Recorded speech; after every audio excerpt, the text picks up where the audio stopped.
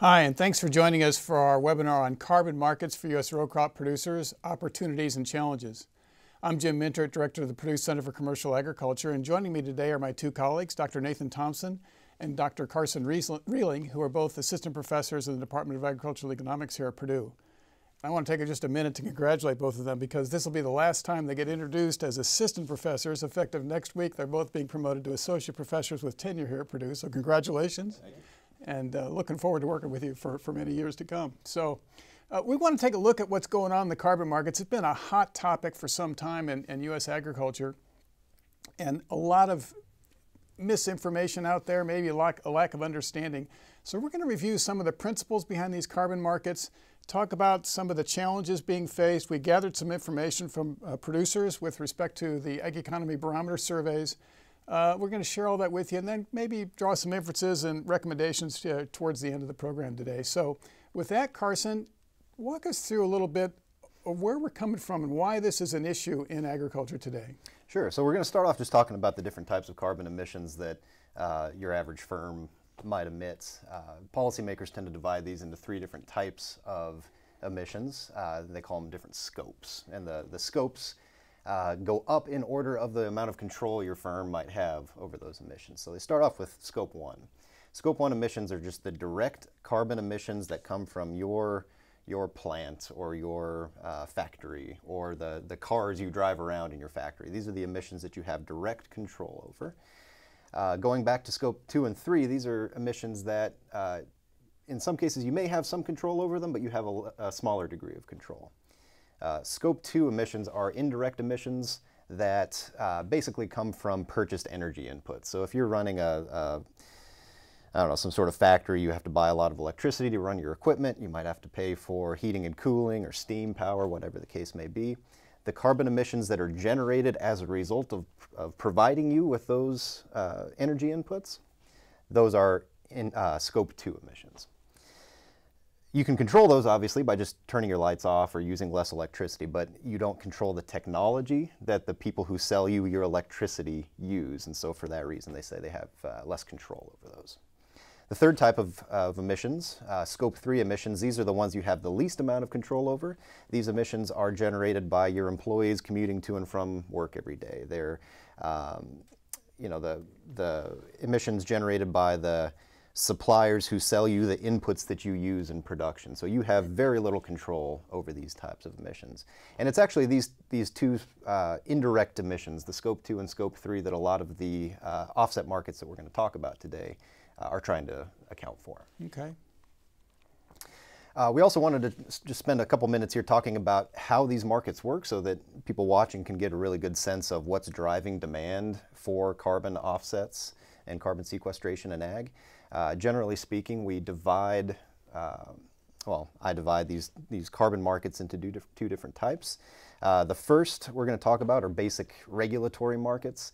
Uh, as the name implies, these are carbon markets where there is a regulatory driver. There is a state or federal government that is saying, we have too many emissions, we're going to start a carbon market that is mandated. Everybody has to participate if you're a, a facility over a certain size, and that's how we're going to control uh, carbon emissions. Uh, the basic way these things work, I've got a simple little diagram here with some animations you can follow along with just to kind of get the idea. Uh, but you might have some uh, regulatory, regulatory authority, excuse me, US uh, EPA, state level EPA or whatever, that comes along and says, all right, we've got too many emissions being generated from a particular industry, power generation, uh, you know, whatever the case may be. We want to control that, so we're going to set what we call a, uh, an emissions cap. An emissions cap is just the total limit on the total carbon emissions that this industry can generate. Then we're going to issue permits in accordance with that cap. So that's the, the little rectangles you see there on the screen. And these permits give the permit holder the right to emit one unit of pollution for each permit they hold. Okay, and usually when we're talking about carbon, the, the units of emissions are just uh, metric tons of carbon equivalents. And the idea here is that if you're one of these regulated polluters, you can pollute as much as you want, but you have to have one permit for each unit of pollution you generate. And generally speaking, these, these caps are binding in the sense that the, the amount of pollution that's being generated is larger than the permit cap. And so uh, when they set that cap, there's, you know, you have to scale back your emissions somehow in order to, to meet this cap. So in your diagram, Carson, up there at the top, you've got the big cloud. We're going to shrink that cloud down a little bit in response to the regulatory cap, right? Exactly. Yeah. So actually, you can think of it as all three of these firms are going to collectively scale, uh, shrink their clouds and scale back their emissions. Uh, but to do that, there's actually three different ways that you can meet your cap. The first, uh, and, and you've already triggered the animation there, is that you can actually just scale back your emissions, right? If you find it very cheap to scale, you know, change your technology or turn the lights off or whatever, you can just scale back your emissions yourself. The nice thing about permit markets, though, is that they actually offer you the opportunity to effectively pay somebody else to reduce your emissions for you. Uh, specifically, if this first guy on top here finds it really cheap to abate his emissions, he can scale back the amount of carbon that he's generating, and these other two polluters might say, okay, hey, uh, you've gotten rid of your carbon, You've got some extra permits floating around that you don't need. Why don't you sell those permits to us? I'll pay you some amount up to what it would have cost me to get rid of that carbon myself. And what you'll notice here is that, you know, those bottom two firms, they're actually polluting more than they were before, but collectively, we're still meeting our cap, right? We've just changed the allocation of who's doing the polluting. So from a societal perspective, you've met the objective of reducing carbon emissions. Exactly. Even though individual firms might not be reducing their emissions. Exactly. And this is kind of a controversial issue within uh, carbon trading or any type of pollution trading because there's this argument uh, among some that, hey, it's unethical because you're just taking money and, and using it to pay for your bad behavior. You're polluting when you really, you know, under this program, you should be cleaning it up yourself. Really, I mean, they're, you know, ethical and, and uh, distributional consequences, of course, matter.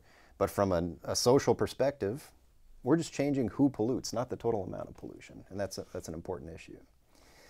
Uh, so finally, uh, the other alternative for getting rid of your carbon is you can actually go outside the carbon market and buy offsets, right? We're still going to pay somebody else to get rid of your carbon for you, but you're going to go outside that market and find some uh, sorry, some unregulated firm to get rid of that pollution for you. So in my example here, if you click one more time, you see, you know, farmers, for instance, they generate some carbon just like everybody else does in the economy. That's how we keep things spinning. So farmers uh, might adopt a conservation practice, no-till, cover crops, scale back their fertilizer applications. And if they can verify, quantify how much carbon is being abated by those activities, they can sell that, that reduction as an offset to some firm that wants to pay them for it.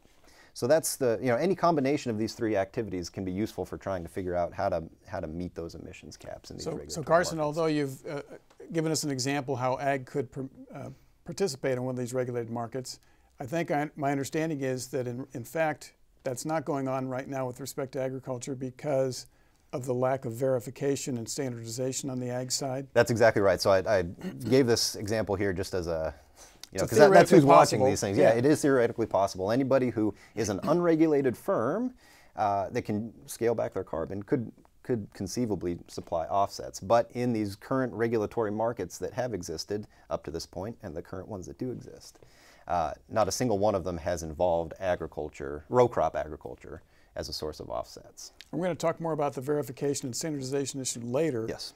But that brings up the issue as to why that might be important mm-hmm. in terms of creating some additional demand for carbon credits, credits coming out of row crop agriculture, right? That's right. Okay. That's really important.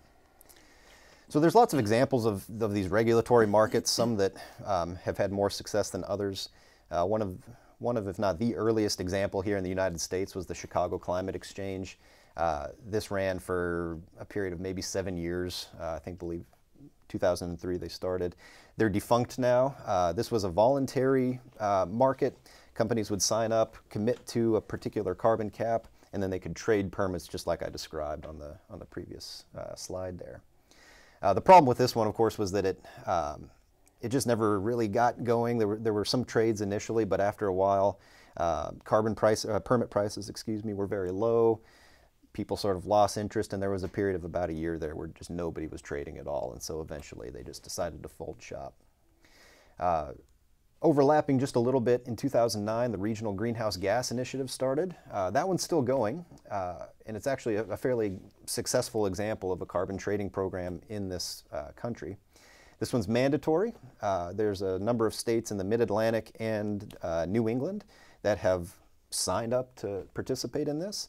If you are uh, major sources of carbon, you are probably going to be regulated under this uh, agreement that these states have created.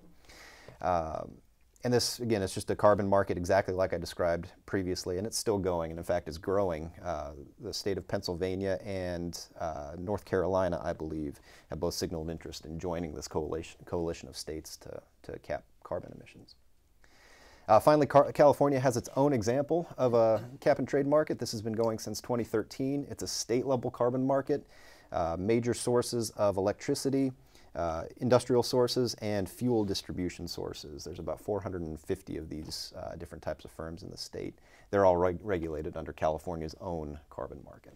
And I think I heard you say earlier when we were talking about this, uh, Carson, that the California program does have a small element of agriculture in it with respect to dairies. Is that correct? That's yes. So this, testing my knowledge a little bit on this one, the um, historically agriculture has played a small role in these markets, but I believe in the case of California, um, it's limited to certain types of agriculture. So the example you just gave, if you are a dairy producer and you install a methane digester, you can participate or, or act as a source of offsets. But that's one of the few examples of agriculture getting paid to reduce uh, or provide carbon offsets in a regulated market. That, right? That's true. Yeah. The other major example would be uh, agroforestry, uh, but otherwise, yes, opportunities are very limited. Okay.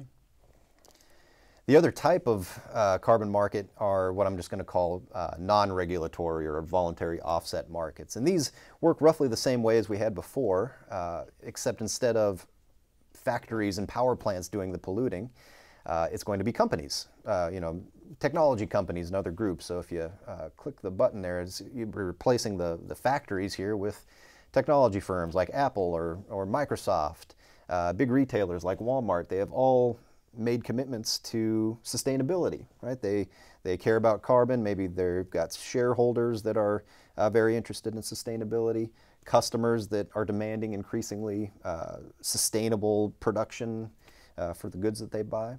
And so these firms have all voluntarily decided that they want to offset some of their carbon emissions and probably those uh, scope 2 and 3 emissions that they generate throughout their supply chains. And so the, the mechanics of this are largely the same. These guys have, you know, they don't have a, a mandatory cap, but they have some voluntary goal that they want to achieve in terms of their emissions. So they just go out and they pay farmers or other groups to scale back their emissions and, and do that on their behalf.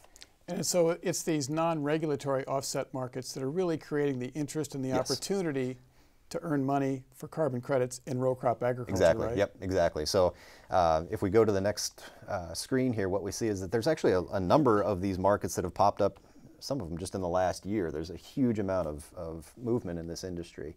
Uh, Indigo Ag, Nori Incorporated, uh, and all of these ones are unique in that they are, to my knowledge, the first that have allowed row crop agriculture to serve as a source of uh, offsets for carbon. And so one of those is a little different than you mentioned the Bayer Crop Science one, right? That's right. So Bayer Crop Sciences, uh, they're starting their own carbon inset market, which is distinct from an offset market, uh, only in that um, it's basically an offset market within a company's own supply chain. So you know, Bayer, of course, they have a nice long supply chain. They're, a huge company. Rather than buying offsets from some farm wherever, right? They're going to go to farmers in their own supply chain, or they're going to go to retailers in their own supply chain, input suppliers, and pay them to abate their carbon. And in so doing, they're going to, I guess, in, in some ways, try to make up for that critique of carbon trading that I mentioned before. You know, everybody's worried about ethics and, and things, right? Why would we just pay somebody to do something that we should be doing? These inset markets are, are to try and get around that, uh, making sure that companies take responsibility over their own. Yeah, they're really looking at it from their total supply chain perspective exactly. and saying we're going to reduce the carbon impact from our supply chain, not just our firm. Yeah, from, from our, and, and we're going to do that ourselves. We're not just going to pay somebody else to do it on mm -hmm. our mm-hmm. behalf, mm -hmm. right? So Nathan, You've taken a look at some of the practices that are eligible for these payments. You want to talk a little bit about that? Yeah, that's right. So basically, to qualify for some of the programs that, that Carson just talked about, you're obviously going to have to make some changes to your production practices that would be practices that are known to sequester carbon. And so here on the slide, you know, I've, I've listed a number of, of things that get thrown around in terms of agricultural practices that uh, are known to sequester carbon. When we think about row crop agriculture, which is really what we're focusing on here today, the two that really get the most traction as far as practices that can sequester carbon and are, are kind of the, the hallmarks of the programs that are currently out there are a reduction in tillage or no-till and then implementing cover crops. Both of those practices are scientifically shown to sequester carbon. And so we're going to spend a little bit more time really focusing on, on those two as the practices that people are probably interacting with as it relates to participation in these carbon markets. So you've also taken a look at how prevalent those practices already are. That's right. So, you know, this will become important later as we talk about some of the um, aspects of what creates uh, a, a, a quality carbon credit or a carbon offset. But essentially, it's important to understand where the practices are today. So, starting with no-till and conservation tillage. And so these are USDA's definition of, of those two practices. The, the figure here uh, is county level data on the proportion of acres, uh, cropland acres, that's important, the proportion of cropland acres in a, a, given county in the United States that are currently using either no-till or some sort of conservation tillage as defined by USDA. And so the, the darker shaded counties there would be counties uh, that currently have higher levels of adoption for no-till and conservation tillage. And so you can see that when you kind of aggregate up across the entire United States, uh, that over half uh, of U.S. cropland acres are currently in either no-till or conservation tillage, which is, is a pretty sizable portion. A lot of that concentration you can see on the, the map there is focused in uh, kind of the Corn Belt states. Um, and so oftentimes you kind of you know hear these discussions of you know well what is the role of agriculture uh, in, in kind of the uh, climate change discussion. So just for some context, uh, I tried to put some numbers uh, to that, right? So making some assumptions on carbon sequestration, I used the USDA NRCS's COMET planner tool. For um, no-till, they uh, estimate that at 0.3 or 0.31 uh, metric tons of carbon per acre per year. Uh, that would equate to about 10% of U.S. passenger vehicles for current conservation no-till adoption, right? That's, that's about how much uh, carbon that they're sequestering in, in no-till acres currently. If we kind of extrapolate beyond that and say, okay, well, what if we put all U.S. cropland acres into no-till? How much carbon could we sequester then? And again, using some assumptions on, on those rates of sequestration, that would be about 123 million metric tons of carbon a year. Uh, and putting that on a different scale, which is you know U.S. carbon emissions, that's about two percent of total U.S. carbon um, emissions from all sectors. And so you can see that you know while obviously um, there is a positive impact that can be had, we need to be maybe a little more realistic about what the role of agriculture can be in the broader kind of climate change discussion as it relates to carbon sequestration. And so, uh, Carson, this kind of brings up a controversial topic because one of the issues is additionality, right? Mm -hmm, that's right. And so, to the extent that we're already doing these things, farmers would like to get paid for things they're doing, mm -hmm. right, that are contributing to reducing carbon. The companies that are involved, though, only want to pay for additional changes in practices that reduce, that amount to um, uh, providing additional reductions in carbon. You might want to talk about that a little bit. Yeah, so formally we, we say additionality is this idea that if we are going to pay you to do something, it better be something that you weren't going to do unless we paid you, right? So the, the map that Nathan's put up here is uh, troublesome in the sense that if you look at where all the corn and soybeans and, and, a lot of the row crops are being produced in the United States, what are those numbers? They go up to about 94% of you know land, uh, ag land in those counties is already under a lot of these activities. So this is going to raise uh, further questions about you know the effectiveness of these types of programs. If only 2% of U.S. emissions are covered by ag, and 94% in some places of those emissions are already being sequestered effectively, how big of an impact might we be yeah, this is one. Here. This is one of the more controversial things, and in, in, with respect to the carbon emissions. And, and, let's talk a little bit more about this because you've taken a look also at uh, cover crops, which is also a hot topic in this area. Sure. So we hear a lot about cover crops, and cover crops fall under this umbrella of, of potential carbon uh, sequestering practices. The story here is a little bit different, especially from from the perspective of the additionality story that, that Carbon just told, or Carson just told. Um, and so again, you're right, this is the proportion of cropland acres in a given county uh, that are currently planted in cover crops. So you can see there's much uh, less of the dark colors here with the main concentration being kind of in that Chesapeake Bay area. Uh, and there's a lot that goes on in the state of Maryland as it relates to, to uh, nutrient leaching and, and, water quality. And so there's, there's that, that, makes sense if you're not familiar with that. There's plenty of things out there that you can go and look at what the state of Maryland is currently doing uh, to incentivize cover crop adoption. But looking more broadly, right, adoption is, is relatively low. And so looking at kind of aggregating across all of those counties, right, only about 4% of U.S. cropland acres are currently planted in a cover crop. And I should say currently, uh, this is from the 2017 U.S. Census. So, you know, that's several years old and, and cover crop adoption has certainly uh, been increasing, but that's kind of the, the most current county level data that, that I could get my hands on. Um, now again, kind of putting some context to that level of adoption. Um, so making an assumption about how much carbon is actually sequestered uh, by cover crops. I used again the USDA NRCS's COMET planner tool, which assumes uh, somewhere around 0.4 metric tons of carbon per acre. Uh, current adoption obviously is relatively small, and so that equates to only uh, about 1% of US passenger vehicles currently, right? So uh, the current cover crop use sequesters the same amount of carbon uh, as we see from 1% of US passenger vehicles. But again, extrapolating that out and thinking, okay, well, what if we could get more people to, to use these practices? Uh, for cover crops specifically, if they were planted on all U.S. cropland acres at that same assumed uh, carbon sequestration rate, we would sequester 147 million metric tons of carbon which is slightly higher because of the slightly higher rate per acre of sequestration associated with, with cover crops as compared to no-till. Uh, and again, putting that some scale to that number, that's about 3% of the US CO2 emissions uh, in 2019. And so again, uh, the potential for, for a positive impact here, but you know, in the broader scheme of things, we're talking about a relatively uh, small portion of current emissions. So let's uh, think about this a little more concretely from a row crop producer's perspective. Let's say you're a row crop producer who currently practices conservation tillage. If you move to no-till, that would sequester some additional carbon and you would be eligible for a payment, mm -hmm. right?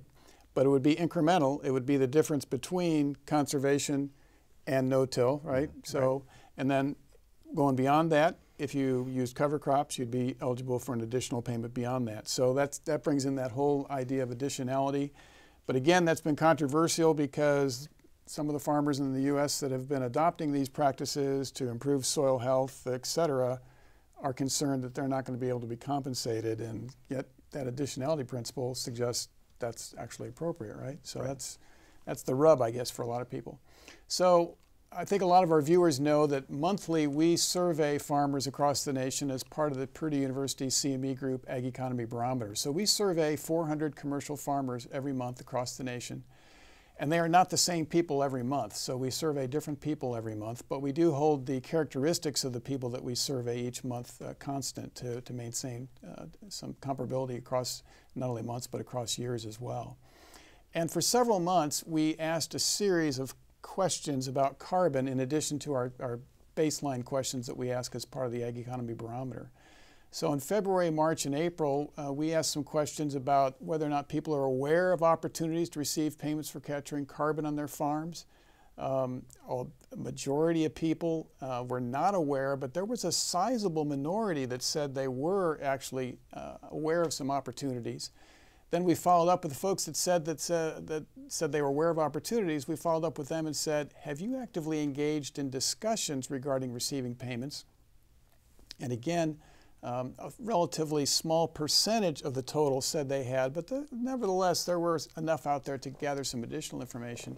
And so we followed up with them and said, have you signed a contract to capture carbon on your farm?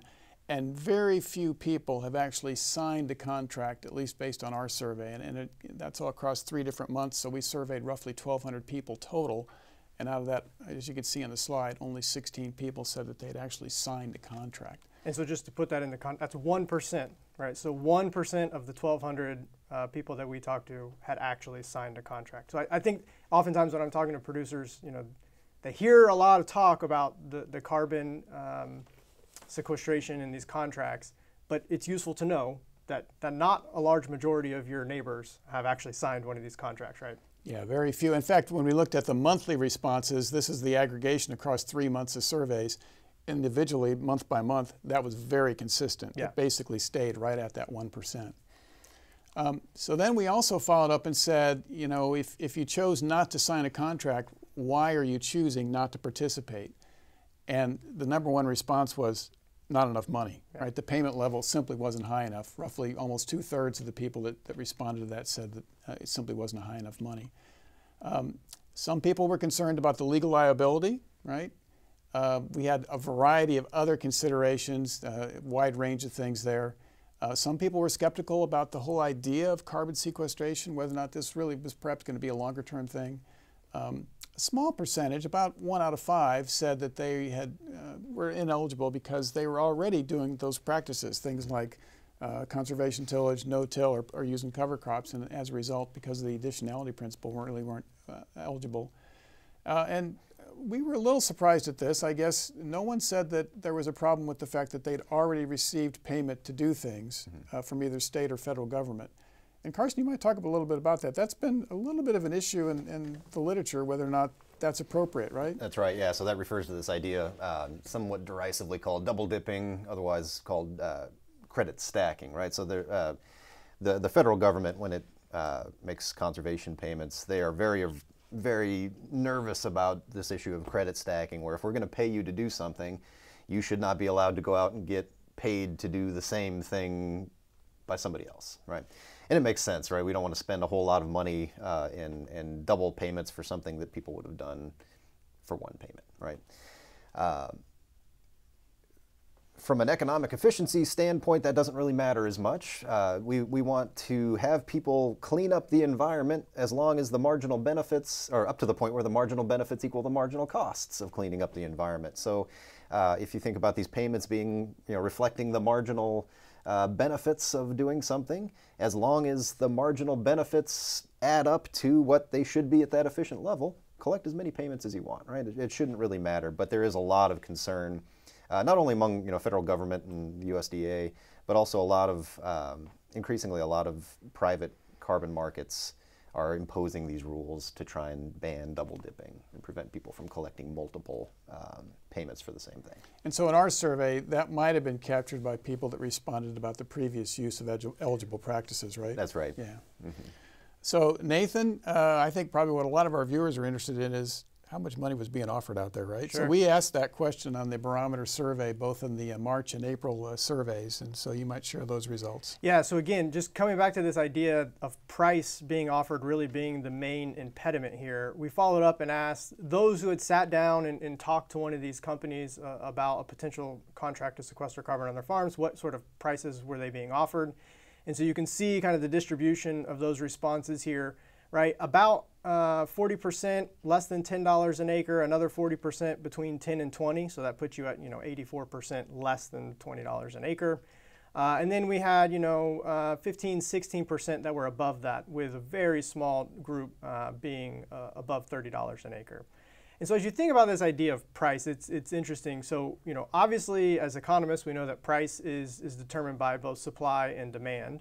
And if you think about what's going on uh, in, in these carbon markets, really supply is, is lagging demand, I would argue. Uh, and, and what I mean by that is, you know, you can just go uh, on the internet and every day there's a new company coming out and making these carbon neutral pledges. Uh, and so whatever, pick the company that you want. Um, and so while, again, those are voluntary commitments and, and there's not a lot of um, uh, repercussions if they weren't to do that. There's at least a, a, a, group of people that are lining up to make commitments to buy these credits. When we think about supply of those credits, uh, we run into this issue of we just uh, showed that at least uh, based on our survey, only about 1% of the farmers that we talked to had actually signed up to supply uh, credits to these markets. And so, you know, we have to kind of think about the, the supply and the demand situation.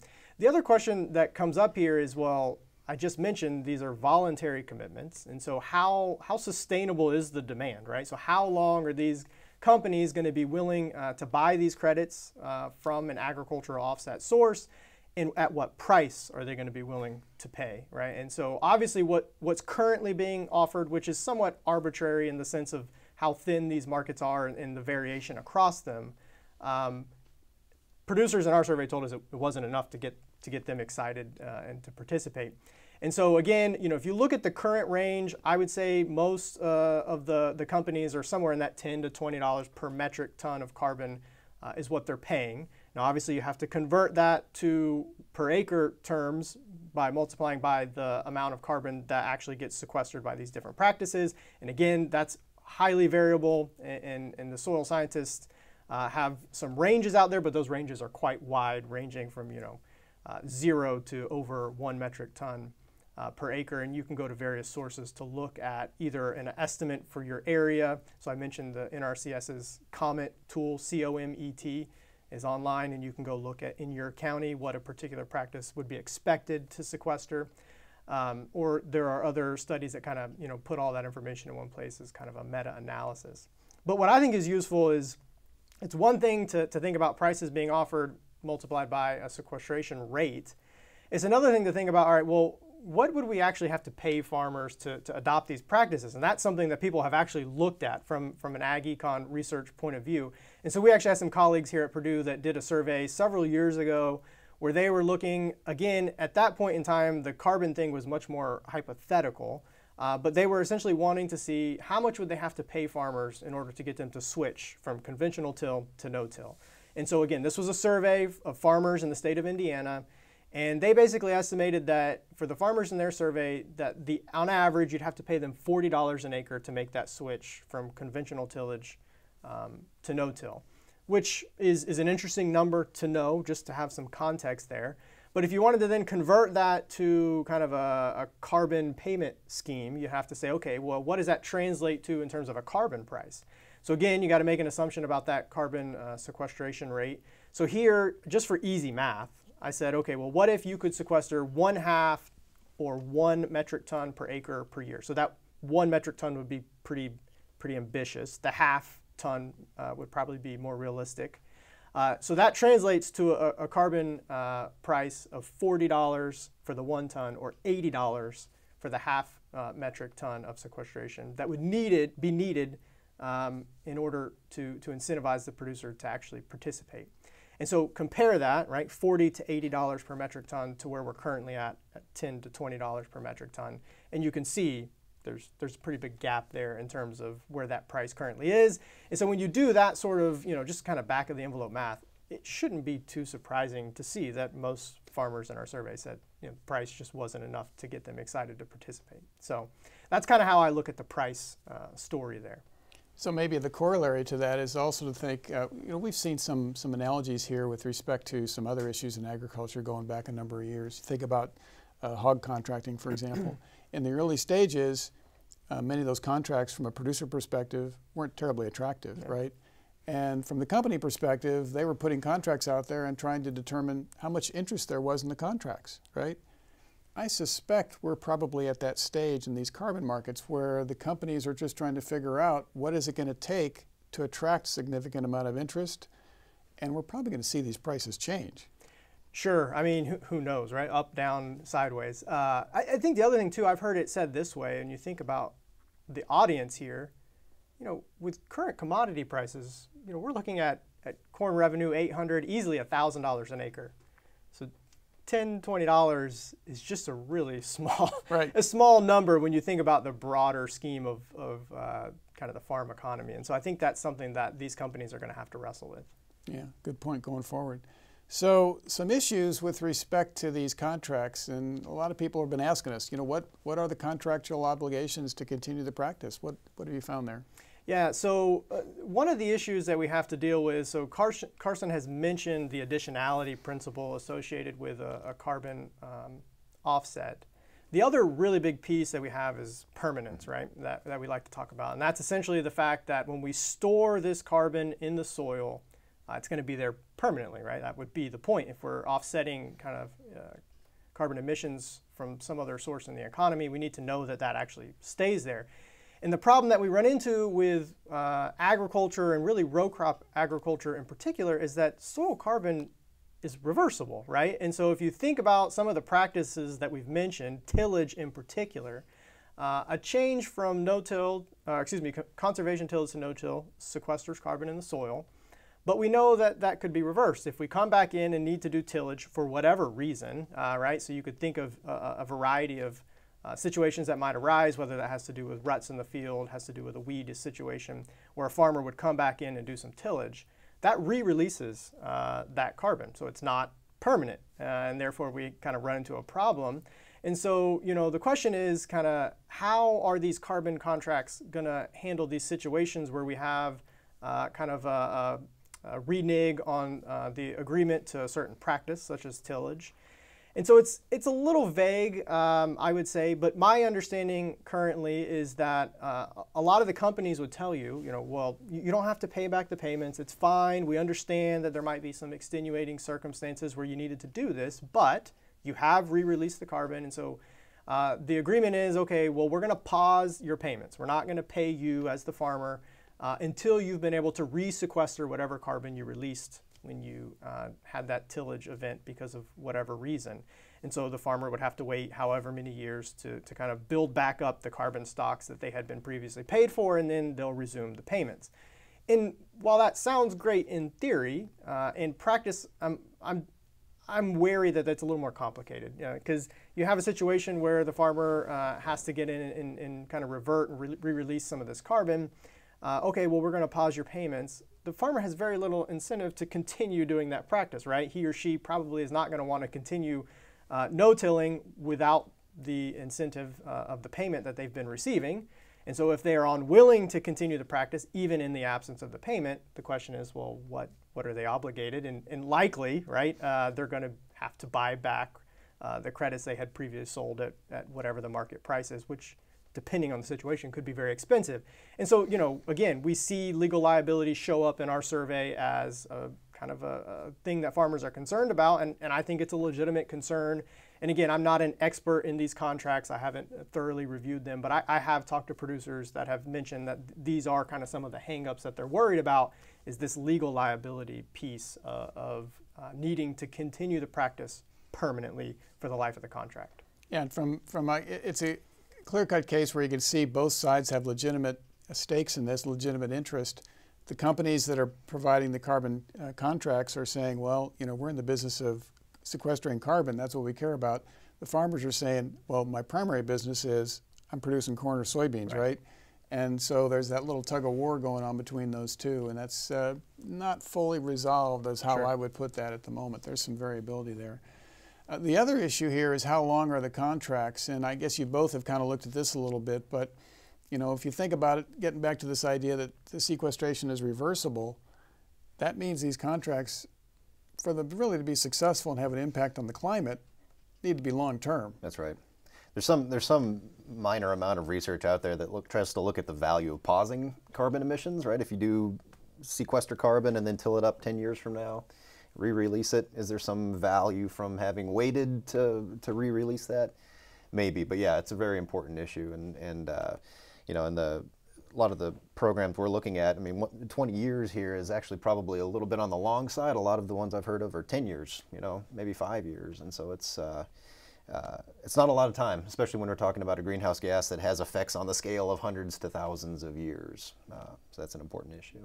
So there's a little bit of information, I guess, coming out of Australia, and I, I, wasn't aware of this until just recently, but they've actually had an emissions reduction fund that's focused on initially on 100-year contracts. You might talk a little bit about that, Nathan. Yeah, so I mean, it's really interesting to put into context what's currently happening in, in these U.S. Uh, carbon markets, again, specifically focusing on the ones dealing with, with kind of row crop agriculture as their focus. Like Carson mentioned, you know, they're somewhere between one and 20 year contracts is kind of what you're seeing currently. But when you look at what they're doing in, in Australia, and again, th this is kind of their national uh, attempt at um, uh, reducing uh, carbon emissions and, and, combating climate change. So this includes agriculture, but is not, um, is not exclusive to just agriculture.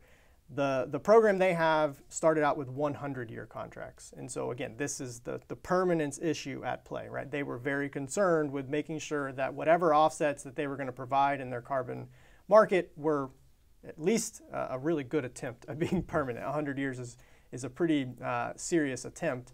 Um, now, they did come back and revise that. I don't think that they got the participation that they had initially hoped for. Uh, and so they, they introduced a 25 year contract, but they were very clear that those were going to come at a, a, um, a, a, reduced payment rate, right? So you weren't going to get the same rate per metric ton of carbon for the 25 year contract that you would be getting um, for the 100 year contract. And so again, we see this trade off between permanence and price, and, and we run into this issue of if, if we're going to have these kind of short term programs, five, 10, even 20 years, um, we're going to run into issues with okay, well, I'm only willing to pay as, as the buyer of those offsets, I'm only willing to pay so much if I know those offsets are not going to be permanent. Uh, and, and so we kind of, you know, we're in this cycle of, well, I don't want to sign up for too long. Well, I'm not going to pay you a high price. And, and it can be a little bit concerning as you think about where these markets might be going.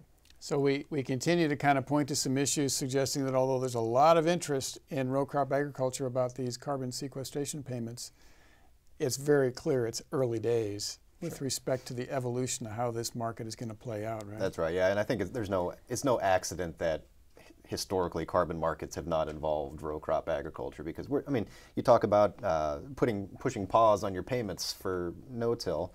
Uh, we don't really have a good sense of how carbon levels change in soil from year to year anyway. So the science even around this is, is still at a relatively early stage. I don't know it myself, but that's that's what you hear from a lot of the agronomists that we're not sure what we're measuring or how consistently it's measured, and you know, there's lots of issues. Yeah, so let's look at that in a little more detail. You've mm-hmm. taken a look at this, Carson. Do I qualify if I'm already using eligible production practices? And the answer is, in general, no, right?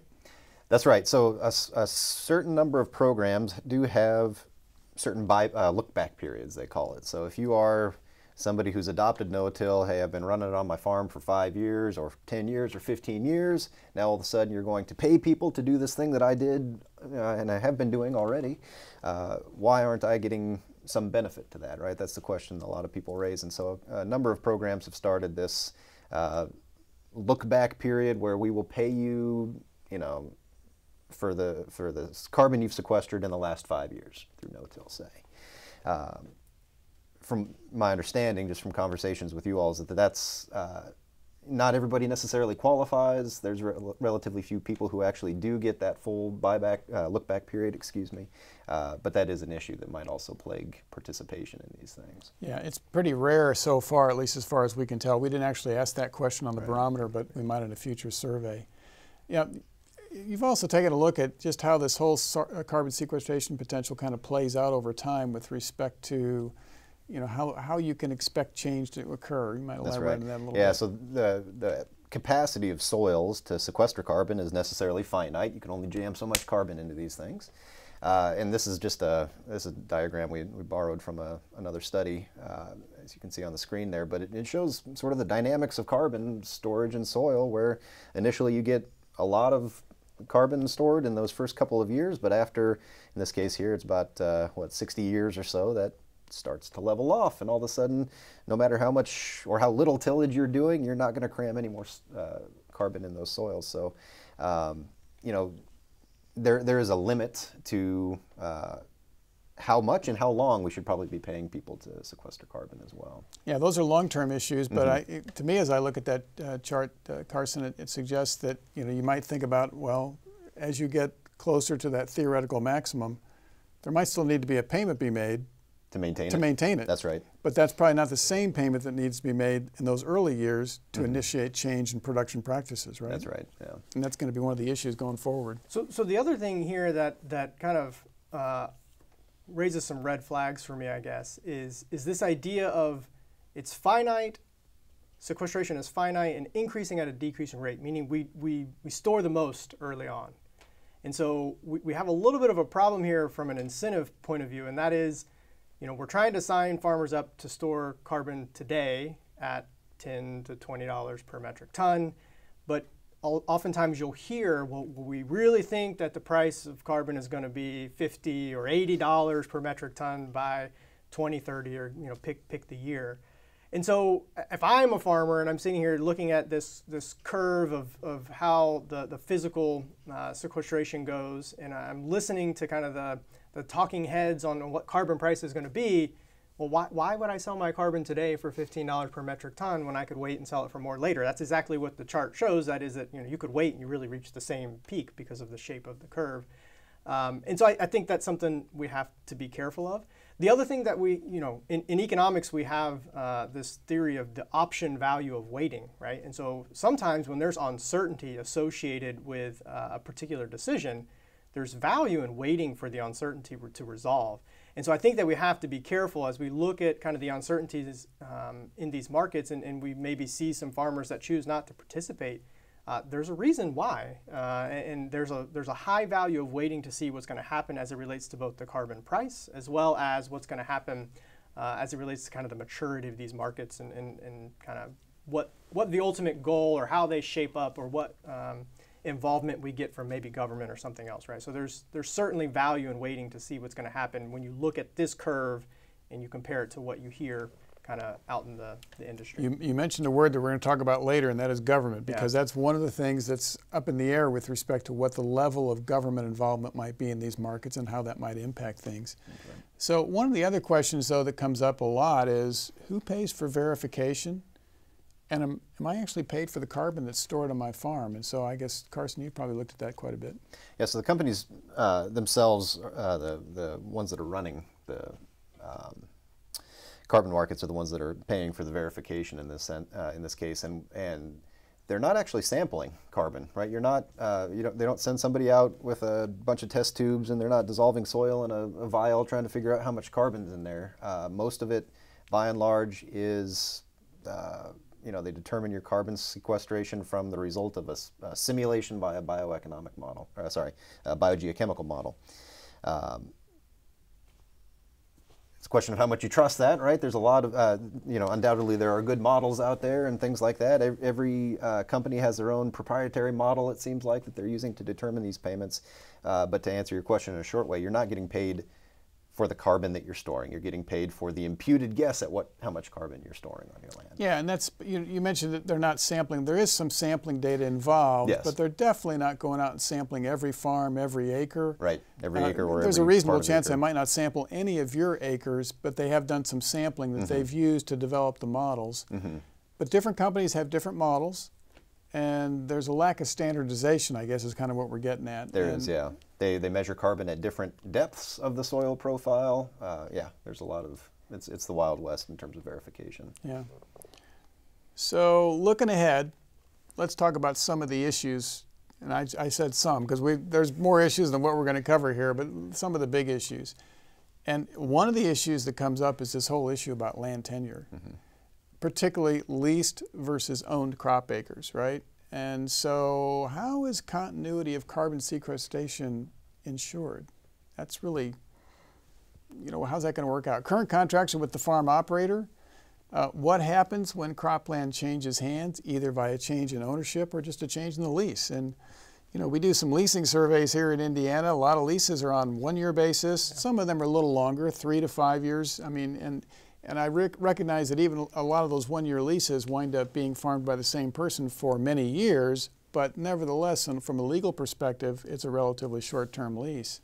That's one of the issues, right? Because as you pointed out, Carson, this is a long-term issue, right? Mm -hmm. um, so it's unclear how that's going to play out. What's what's your? Yeah, it is. I mean, it, this is a question that, that I frequently hear from people. Well, can I, you know, sign a carbon contract on leased acres? And, and the answer is yes. I mean, most most companies will allow that, and so it, it is possible. But as you mentioned, I, I think it raises some some you know important issues that are going to have to be dealt with. I mean, basically, my understanding, and again, I think it varies from from company to company in terms of these these carbon uh, contracts. Um, but typically, they're going to want to see that if you're going to uh, sign a, a, carbon contract on leased acres, that you can show some uh, management control. So you're going to have to have the landlord, you know, write a letter or give an agreement that um, you're going to be allowed to, to receive the payments for the carbon that's sequestered on the farm. But again, you mentioned, you know, um, mo most leases that we deal with are on a year-to-year -year basis, and so even if you've been farming that ground for a long time, how these companies are going to you know, look at a, year to year or even just a verbal agreement on your lease is probably going to take more than that. Uh, is that something you're willing to do? Is that something your landlord is willing to do? Is going to be an interesting problem. And then again, you know, circles back to the additionality problem that we talked about earlier. And that, well, it's not really the additionality problem, but the problem of, you know, what acres are available. And so if, if we, if we're challenged in, in like, oh, okay, on leased acres, this is just too many problems to figure out that takes out 50% of acres, right? So in the US, cropland acres, 50% of the, the, acres that are farmed are, are leased. and so that's a huge portion of the potential acres to, to enroll in these carbon programs that have some serious issues to, to figure out before they're able to really kind of be a, a major part or an integral part of these programs.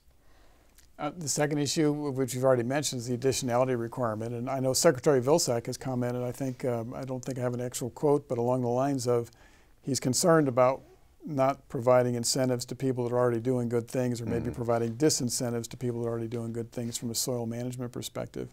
But it's it's an issue, right? From yeah, and there are allegedly ways that they can verify that if you do till up your land uh, with this sort of self-serving goal of um, qualifying for carbon payments in the future, they can tell you've done that, so you don't you disqualify yourself from these programs. Uh, I don't know how they do that off the top of my head. Um, but it's you know so there might be some incentives to cheat. Uh, also, you know, you have to think about it from a from a social perspective. We talked about you know we're, when we're talking about carbon trading, you know, the the ideal is we look at this trying to maximize the net gains to society from managing these things.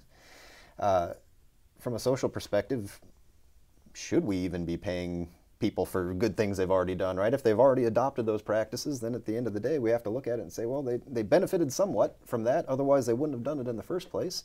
Should we be going back and actually paying these guys for things that they've already done? Yeah, it's, a, it's it, that's a debate that's going to continue. I, yeah. I don't see that one going away. No.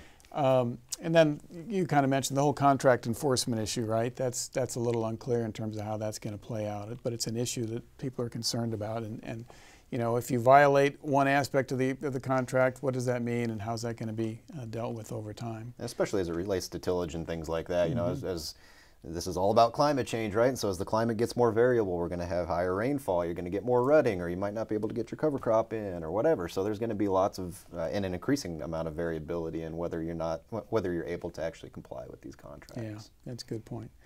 Well, let's talk a little bit about the future. Uh, we're kind of gazing into the crystal ball just a little bit here, but we're going to try and do that.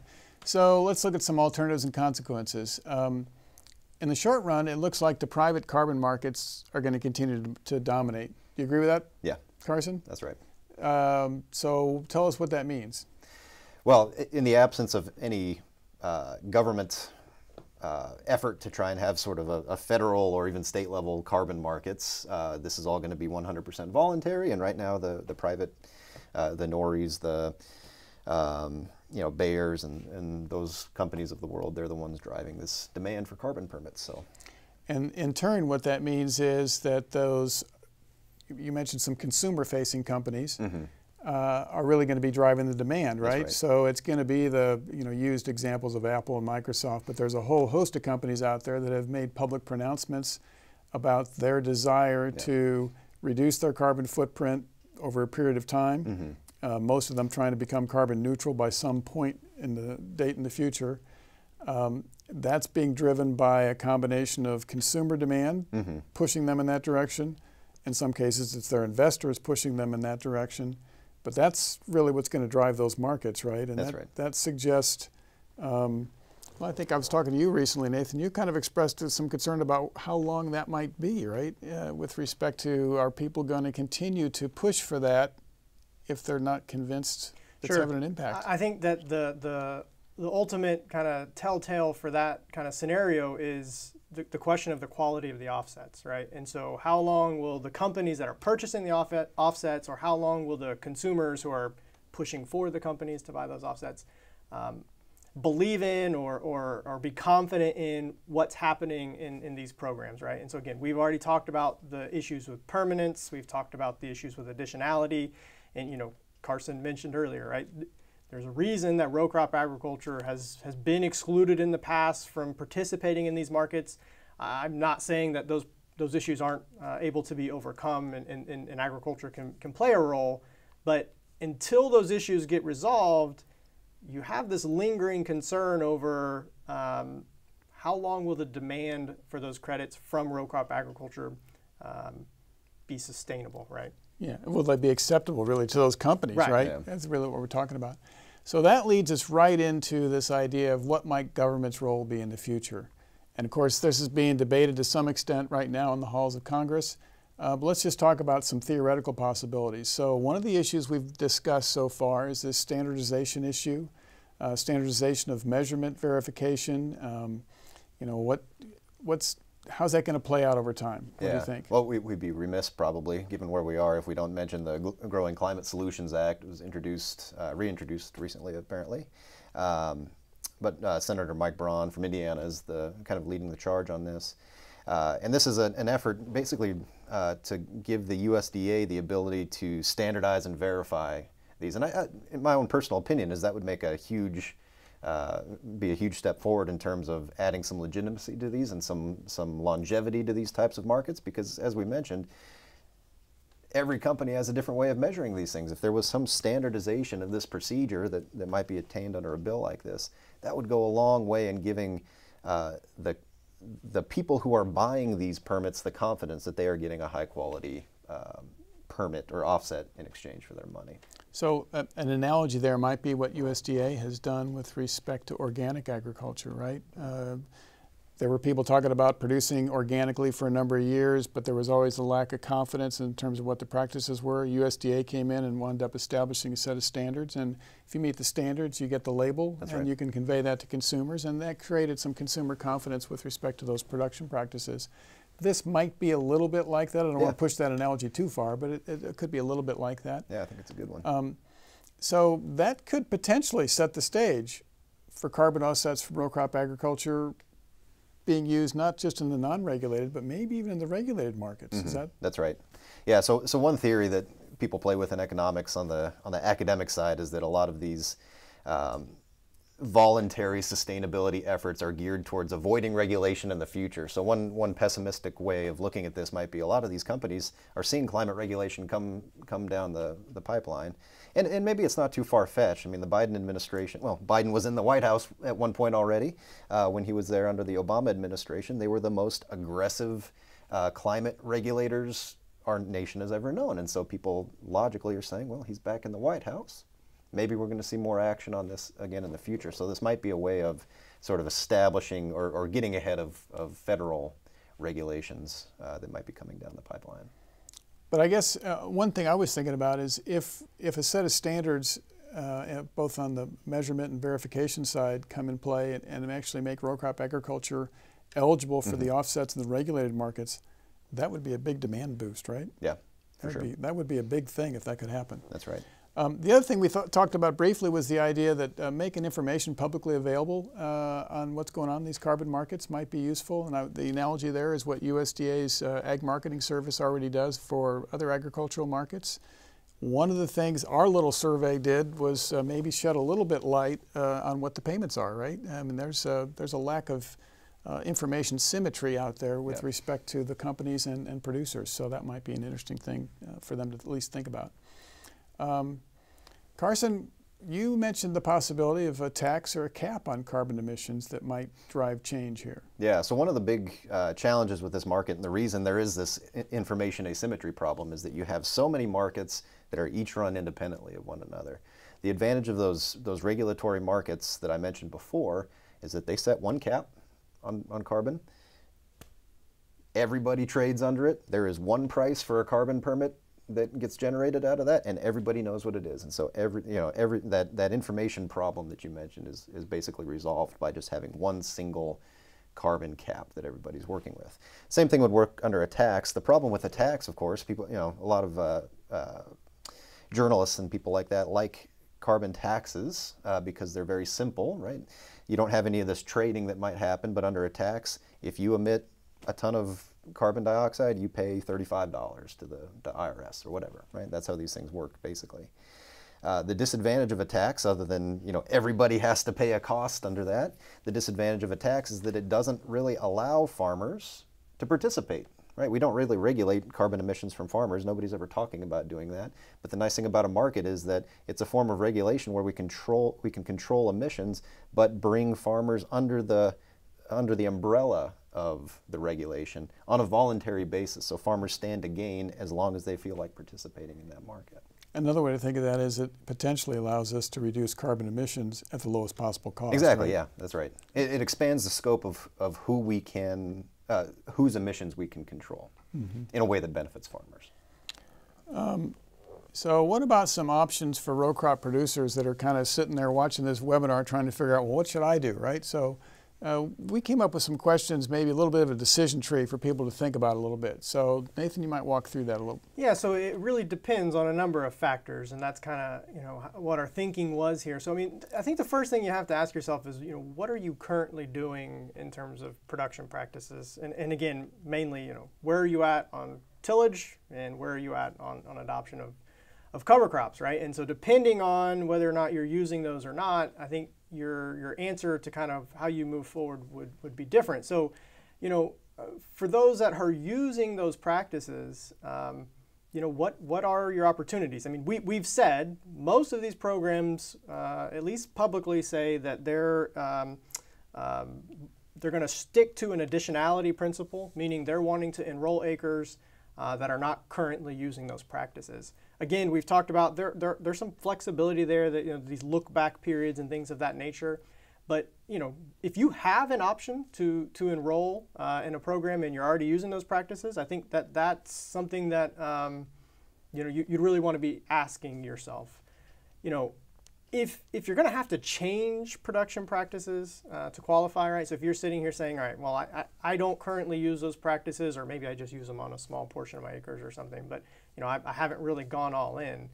Then you know you got to think about okay, well, what is the cost associated with those practices, right? So you know, what is the cost benefit here? It's going to cost me something to, to implement those, and what is the benefit in terms of my participation in this carbon market?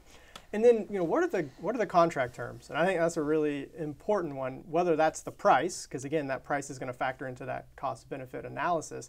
But then I also think length of the contract. So you know, we've talked about a number of the aspects of these markets you know, while maybe these short-term contracts don't line up well with a permanence mentality of storing the carbon permanently, you know, they do offer farmers an opportunity to maybe get in at a low risk. Uh, I think would be one way to think about it. And so, you know, if, if you're being offered, you know, a, a reasonable price and a, a relatively short-term contract, that might be something that you would be willing to consider. Versus, you know, if you're looking at a 20-year contract on cover crops and you've never planted a cover crop in your life, I, I would be much more wary of, of that being your first foray into it. Uh, and that that's just kind of my opinion on that matter. But that's that that's kind of the, the sequence of things that I think farmers probably should be thinking about. You know, thinking about uh, what you were just saying there, Nathan, I guess I had an opportunity to visit with a farm not too long ago who viewed it along the lines you did, which with respect to um, it was an opportunity for them to get a small payment to try a production practice. In their case, it was the use of cover crops that they had been thinking about doing but hadn't actually done. And so it allowed them, it gave them a, a small or modest financial incentive to do something they kind of wanted to do anyway. And so, and it wasn't a real long term. And so it was an opportunity to do something they kind of wanted to do. They got an incentive to do it um, and learn a little bit about how it works. And then uh, they didn't enroll all their acres. Again, that's another key point. Yeah. If you're a farmer, you don't have to enroll everything, right? You can do some things on a trial basis to learn some things. So there's some opportunities there. Um, so the last point you mentioned was what contract terms are being offered. Um, you know, I think as we think about what's going on in this market, or in these markets, we've said a couple different times, this is early days. Mm -hmm. It's going to change. Um, looking at my crystal ball, if I had to guess, if this is going to be successful in row crop agriculture, the payment rates are probably going to rise. Do you guys agree with that? Yep. That was that was a pretty quick answer, yeah. Carson. Yeah. Yeah. So keep that in mind. That's not based on a tremendous amount of information, but if you look at his, the history of this kind of stuff going on elsewhere in agriculture, in early days, it's an opportunity for um, markets to converge on an equilibrium and I don't think we've converged on equilibrium yet. That's kind of, and our survey kind of supports that with that 1% that has only signed contracts so far. So looking ahead, that maybe the, the elephant in the room here is what's the likelihood of more direct government involvement in this and what might that look like? That's, that's probably the issue I think on a lot of our viewers' minds. Uh, what, what do you think is going to happen there? That's pure speculation, I guess, on our part. What, yeah. Carson, I'll start you. I mean, we're already kind of seeing it again with that Growing Climate Solutions Act. I think there's it's gotten people's attention. If it's coming out of such a red state in Indiana, it's you know it's got to be uh, catching on other places as well. Uh, this idea of managing the uh, carbon emissions, um, and again with with Bi uh, Biden administration having already been part of the most aggressive carbon uh, regulating administration in U.S. history, it's it's coming. It's coming. Uh, it's just a matter of what it's going to look like. And so, what, what do you think it will look like? Do you think it's going to focus on standardization and verification? Do you think those will be the main issues, or is it going to be broader than that? I think I think at some level, this is just again me, like you said, looking into the crystal ball. Uh, I think at some level, the government is going to have to step in and uh, actually coordinate a lot of this trading. Because again, the the big problem is if you just leave this up to a bunch of private companies to run this, there, there's just there's going to be a lot of issues with that. Nobody's going to know what prices are. There's lots of information asymmetry. I can get a higher value for my, my carbon sequestered if I go over here than if I go over there. There's lots of these questions that, that might arise from this. And, and at the end of the day, what we're fundamentally dealing with is an externality, right? The, uh, by that I mean this is affecting uh, everybody the same, and it's, it's the, a consequence of something that people don't really pay attention to in the marketplace. Um, too much, right? The, the carbon emissions are things that come out when I'm driving my car to work or when I'm turning my, my lights on for electricity. Uh, an externality is a, a, consequence to society that happens uh, to people outside that market transaction. This is, this is fundamentally a role for government to, uh, to manage. Uh, and I think, frankly, they can probably do it in a more coordinated and, and uh, more rigorous way than just having a bunch of different companies all try to figure it out at the same time. Nathan, I'm going to turn to you. I mean, I don't have anything quite that formal, but I, I, I, think that the tea leaves are definitely leaning in the direction of government involvement. And, you know, to the question of like, what does that look like?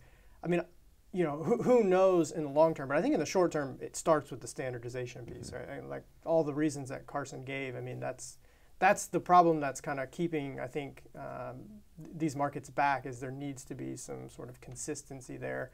Uh, and again, that, that helps on both the supply and the demand side, right? And so it helps farmers be more confident uh, in participating, and then it also helps uh, in terms of these companies that are wanting to purchase these offsets being confident in the offset. So, you know, I think it, it definitely starts there. Where it goes from there, you know, I, I, don't really know. Uh, that's kind of where I come out. I think government role clearly could uh, see some beneficial impact mm-hmm. resulting from um, uh, providing the standardization verification role which would really facilitate markets, yeah. right?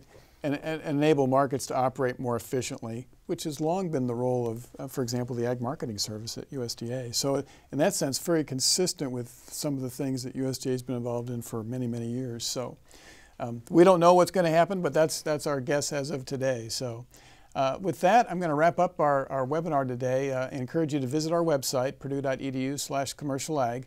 We'll have a copy of the white paper based on the, the presentation we did today available on the website next week. Um, those of you that are watching this uh, live, we'll be also sending out an email uh, when the slides are available and, the, and hopefully when that uh, white paper is available and you can kind of read through that for some more details in addition to just looking at the slides. And so with that, I want to thank my colleagues, Nathan Thompson and Carson Reeling for joining us today. And on behalf of the Center for Commercial Agriculture, I'm Jim Mintert.